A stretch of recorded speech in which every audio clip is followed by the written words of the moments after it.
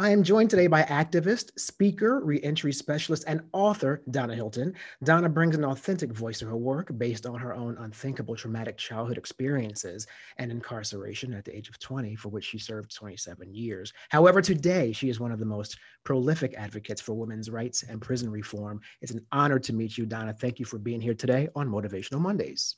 Thank you for having me. It's a pleasure. Thank you. Yes. Well, to get right in, you know, I I guess there's a starting point in some ways where you, as I mentioned, were 20 years old and you did get entered into the, the prison system.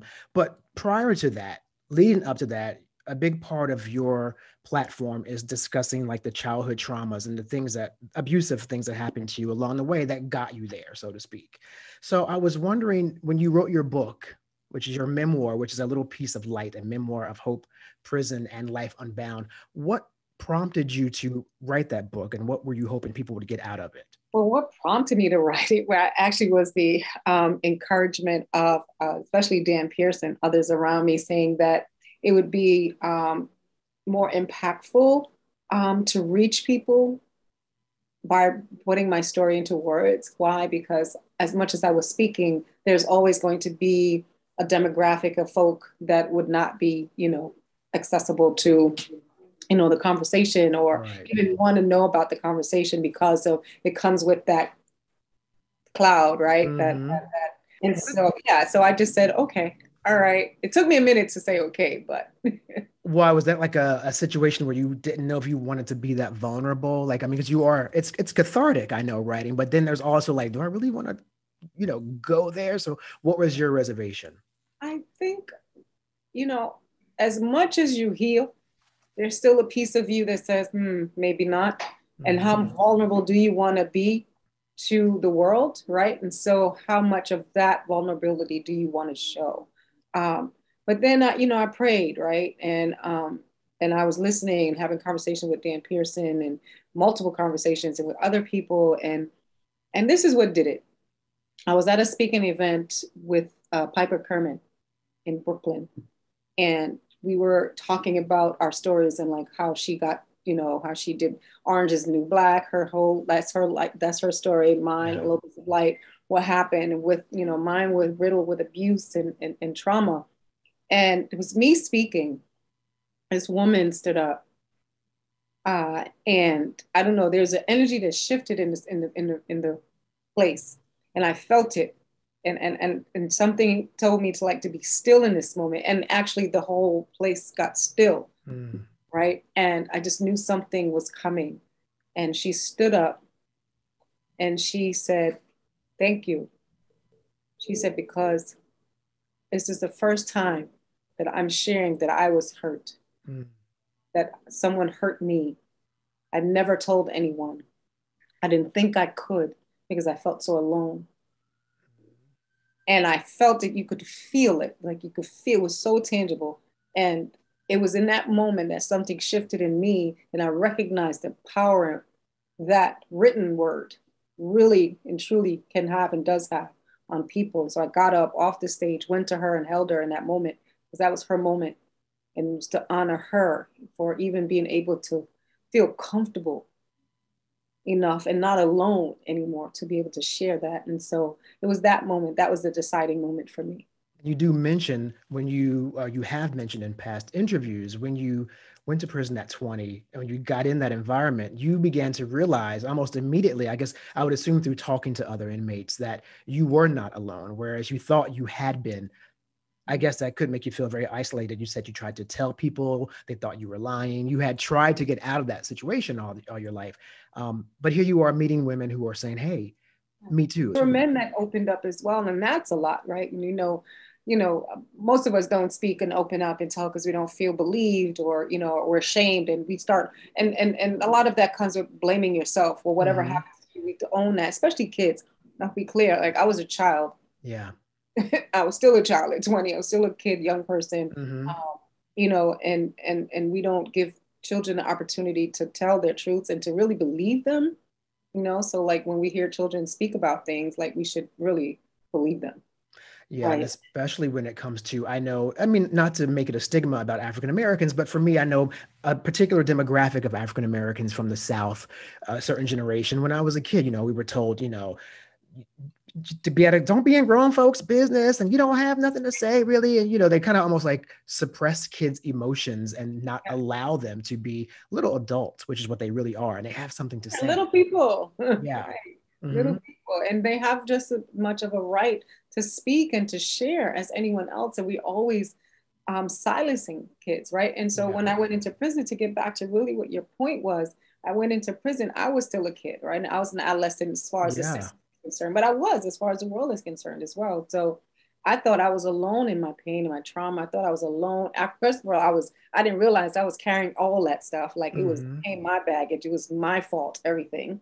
Right. And you don't realize that yeah. until you realize it. And so when I re- one of the things I started realizing throughout, you know, my time in the prison system was that, oh my God, these women that I'm meeting had very similar stories. So it was like, wait a minute, and one day dawned on me, why are all of us here? Mm. Like the, the, the, the, common theme, the thread was no one listened. Mm-hmm. Or we didn't tell. Yeah. So those yeah. Two, two things went hand in hand. And majority started from childhood. And a lot of black and brown girls, a lot of black girls, right? And black boys too. But mm-hmm. you know, for me, it was black women, black little girls. And it was like, wow, the criminalization of black girlhood, like this is what it looks like. Mm. I saw an interview you did with Yahoo News, and I thought it was fascinating when you made a point about people characterizing women who are incarcerated and yourself at the time as monsters, right? They were calling you names like that. And it dawned on me a very specific case, the case of Aileen Wuornos. Ah. And of course, the film Monster was based on her whole life. And when you when you really look at that film and also just the actual documentary about her. It is exactly what you've been saying. Like no one cared until she had been pushed to a point where she was doing things that were criminal but she had been trying to get help. Society had failed her and we all have to take a part in that blame. Like it's so easy to point the finger at a person. It's like oh this is all your fault. But no it's not everyone's fault that we're still dealing with poverty that certain communities are still dealing with poverty, that we still have kids going to bed hungry at night, that we have children going to school so they can eat, making even if it's just that one meal that they can get something to eat and they just get some respite outside of their um, in, that abnormal, maybe oftentimes violent in, environment at mm-hmm. home. You know, mm-hmm. whatever home might look like, right? We have to know, we have to understand. Also, we have to be clear that drugs have impacted you know the black and brown community where the, the family dynamic has been torn apart incarceration is the top leading factor mm. in that, right? Yeah. And so we have ripped, torn families apart. So we don't have, you know, it's not all. So, you know, we like, we hear that stuff about, oh, like black people can't be good parents, like black men. You see black men loving on their children all the time. So mm-hmm. let's stop that, right? Deadbeat yeah. dads. Let's let's be very clear and I'll say it here. The world's first deadbeat dad who taught everybody else was the white man. Like, let's be clear.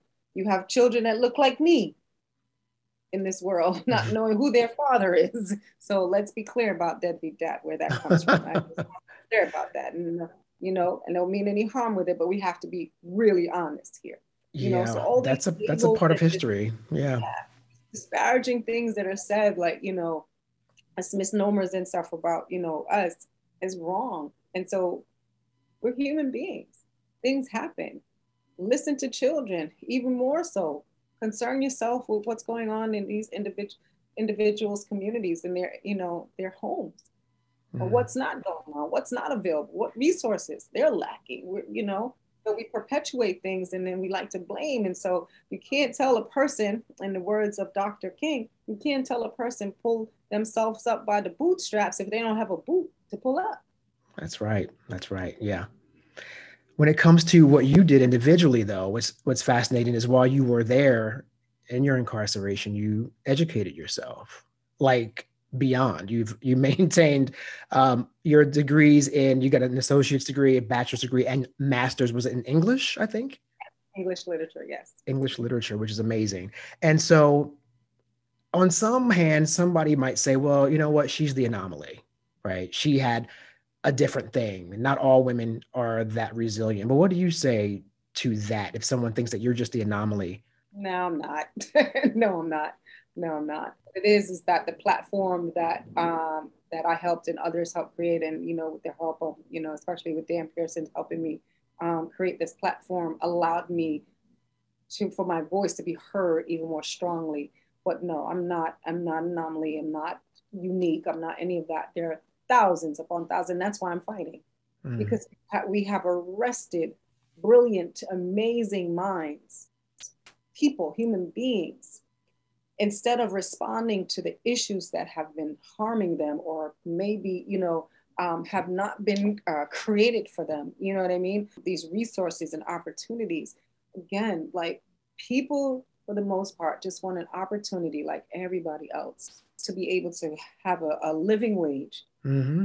sustainable have a place to lay their heads have food in their stomachs clothes on their back and if they have children be able to have fun with their children they just want to have a normal life but we want to mislabel people again and make them uh, them the anomaly, right? Anomalies, and say like there's something different or wrong about them, and so we have to do something different or work or or even more harmful to them, right? So incarceration, we know it is since uh, slavery, it has become the next best thing, right? So we we incarcerate people so we can enslave them. We still continue that mentality um, and that um, in, a, in the physical sense as well as a mental sense, right? Mm-hmm. So poverty continues to perpetuate this dynamic. Substance abuse, right? People have substance issues, right? They have substance issues because there might be some mental health, there might be some trauma, there might be some stuff, and because people can't afford medication, so they're gonna self-medicate. Yeah. Right. Yeah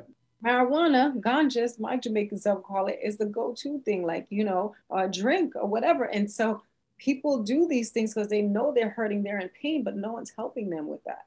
Yeah. You know? And we need to help each other. We need to look beyond color. We need to look beyond ethnicity. We need to look beyond language and prefer- preferences, sexual, pre- all this. We need to look beyond that and see the humanity, see the human being, the whole person, and understand, especially children, we have to understand what's going on in people's lives.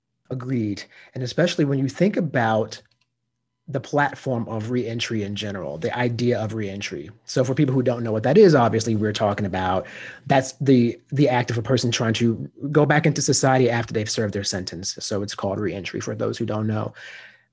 When we began recording, I mentioned to you that this has become something passionate to me because I've met people who made every attempt to reenter after they got out of serving a sentence and life is so difficult. It's like society was completely set up for them to return to mm-hmm. prison. They could not get a job because if they put on the application they were in prison, the job didn't want to hire them or they feared them for whatever reason. Of course, then that means they have no place to stay because they can't afford rent. And, you know, it's just, it gets kind of crazy and crazy and crazier. So um, I, I'm wondering, like, you know, how can society expect to have a better outcome when people are released if, in fact, they have nothing in place for them. So then I realized for women, it's even worse. Right. I mean, that's how that's what guys experienced. So I mean, for you to make it a platform for women, what is reentry like when women are trying to come back into society? Well, you know, women, we have some unique conditions and, and issues, right? I mean, there's the aging factor. We age differently, so they have some medical issues. There's more mental health when it comes to women you know, um, because of our, our when we mid, go to middle age and we start menopause, that word that we don't really talk about, that thing, right? Um, it changes the dynamic mentally, physically, emotionally, spiritually within us. Um, and then vast majority of women um, who've been incarcerated were mothers, our mothers. And so first thing that we're trying to, where's my child? Where are my mm. children? like, or how am I going to build that relationship back? Because we're relational, right? We are maternal and nurturing. And so you know, our men, we're men are more territorial in ways, right? You know, for the most part, and and and, and see it differently. And so their focus is, is different from us when we come out.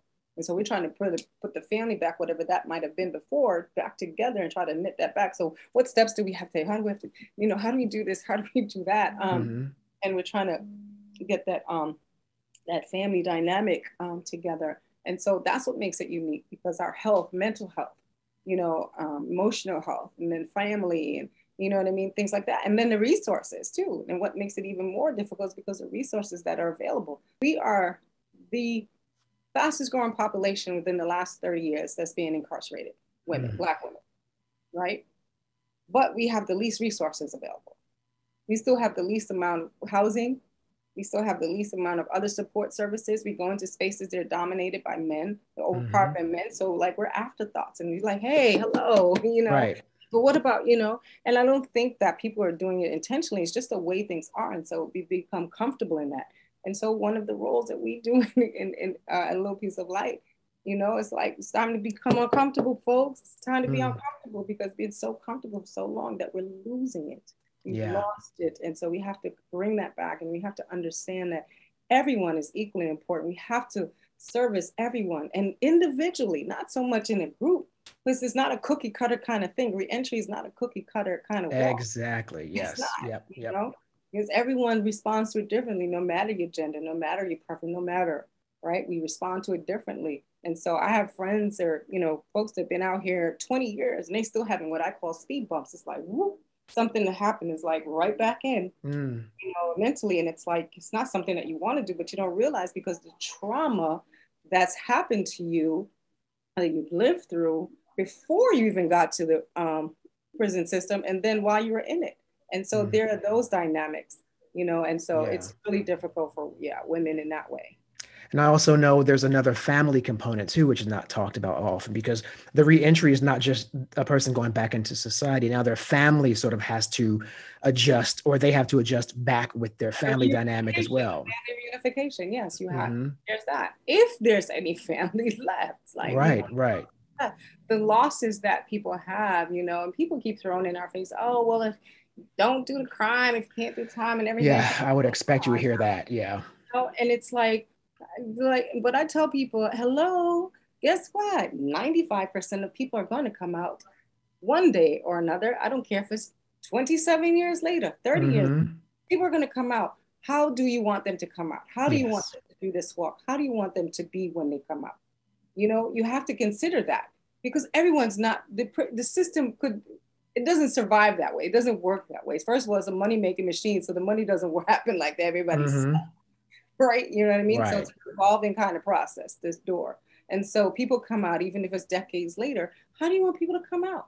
Most people want to come out whole and okay, want to, you know, like whatever their tone for their stuff. They've gone through that. The punishment was being taken away from society and being in a place where mm-hmm. lost so much, right? That's the punishment, not the treatment. It shouldn't be the treatment as well. But unfortunately, the treatment is worse than the time, oftentimes, right? Yeah. yeah. And so we have to consider that. And so we put putting people back into society and saying, okay, your time is done. You now you have to do this. But what? How? How? Yeah, yeah. You treated me like an animal all these years. How you expect me to be? I'm gonna probably re- act like one. Mm-hmm. And interviews I've watched, I know another poignant thing you've said is how can we expect healing when you've taken someone who's already gone through yes. uh, abuse and violent traumas a lot of their lives and now you put them in what you call prison is a very violent environment because it's so abnormal yes. yes. right i mean your solitary confinement was one thing you mentioned and all these things being locked down for long periods of time isolated um, and then serving out your sentence for many years um, how can someone heal in that environment exactly. Exactly. seems impossible quite honestly seems like it does the opposite effect. I mean, you, it's, it's, it's possible. It's so difficult. It's so, you have to like, you know, so I, I'm thankful that I was in the uh, prison that I was in with a group of women that actually, we had the warden, which we call a superintendent in New York, but that we had because without that, I can't be sure that that's true. Mm. Like we would be who we are and created the, the programs that exist now within the system and they're replicated, you know, model across the world. Like, I'm not sure that that would be, you know, because she allowed us to think for ourselves. Okay, mm. allowed us some some slivers of autonomy where we can think about things like the things that we know we need. What would it look like if we had this? What would it look like if we had the support, the help? What would it look like if somebody listened to us? Mm-hmm. So we mm-hmm. create those spaces. You know, that's why Little Piece of Light model of a safe space because that's what we did. We were allowed to do when we were inside. And you've actually made a, a 501c3 corporation that's named after your book, which is um, the uh, the little piece of light is the name of the organization as well. So, what are some of the initiatives that you're working on, whether it be just in theory or legislative proposals that are really going to try and change that landscape for women specifically who are reentering society? One success that one of the successes um, right now. Most recent one, September, Governor Hochul signed our Less is More bill, which we co-lead with two others, Katal Center and Unchained, um, into law. And so now to date, as we speak, uh, it has now allowed for the release of from uh, parole supervision, which for most people don't really need it, right? It's a waste of taxpayers' money, like $680 million a year waste. Mm. Um, 3,970 people been released off of parole, so released from the system entirely. Like people like me and the people that work here, you know, work for a little piece of light. Some of them are on parole. They're mm-hmm. working. They're doing. They're tax-paying citizens. They're doing right. Yeah. Why are you paying to have them supervised? Especially if you monitor them after a while, you see like there's a you know, most people want to do good again. Yeah, so yeah. We're, we're, happy about that. We have some other legislations that we've been a part of the DVSJA Domestic Violence Survivors Justice Act, which um, allows for a person's case to be re-adjudicated, revisited um, if they have significant amount of um, trauma, violence, you know, family violence, domestic mm-hmm. violence in their lives. Um, that's not been working as much as we would like, because of course it's like, oh, we don't want it to be a floodgate. Oh, so then you recognize the vast majority of people that have been inside have been subjected right. to kind of harm and hurt people hurt people and mm-hmm. so instead of trying to heal that work to that right um, but yeah, so we, we work on some policy stuff. We're organizers at heart. Um, we're working to close down Rikers Island. It continues to be the most violent and uh, just abnormal uh, detention uh, penal colony. Yeah. Country. Um, it, it's and it was the, the the premise of it was basically captured those those of our ancestors that ran away from being enslaved trying to get away from that harm and so they captured them and held them there. So i mean it perpetuates something on itself so. Is that the history of rikers? Yes. or part of that? Wow. look up look up mr riker and who he was and what he did.